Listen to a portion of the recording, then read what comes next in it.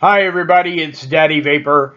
Today I'm going to bring you a review of a e-liquid that I received as a part of a giveaway back around the holidays. And it is from Adrenaline Vapor. And if you haven't tried the Adrenaline Vapor, they have a couple of different lines of products. And the one that I'm going to review for you today is out of their Blowfish line. And it is called Captain's Claw. Now, one thing I will tell you about this is it is a unique to me. I've never seen it before, but it is an 84 VG.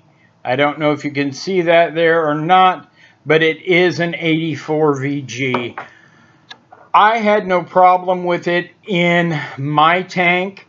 I actually used a different setup today. I used my RT setup, my Aster RT, and the reason I did that is because the samples they were giving away were three milligrams of nicotine and I normally use six. So I wanted to get the best flavor out of it. So I used it in a sub-ohm tank today. Uh, I've actually been using this for a couple of days. Uh, I don't know if you can see it or not, but the bottle is almost all the way gone.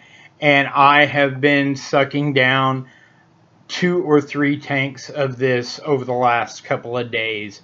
I know the first night I tried it, I went through two tanks before bed, and that was in just about a four hour time frame.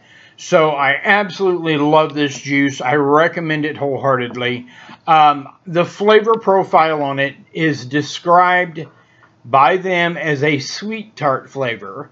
And I agree, except I think it leans a little bit more towards spree candy than it does the actual sweet tart candy.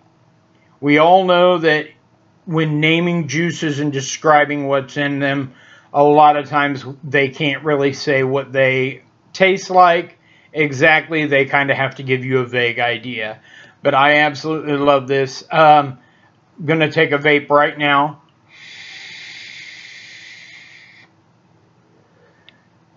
It's just absolutely amazing.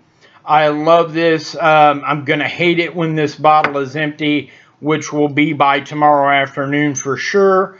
But I have four of their other products that I'm going to be trying out for you as well. Um, there's going to be a giveaway coming up. As always, please subscribe to my channel. There's actually going to be a giveaway coming up that's a cloud competition and one of the requirements is that you are subscribed to my channel. The group that is holding it is trying to help me build up my group and my following here.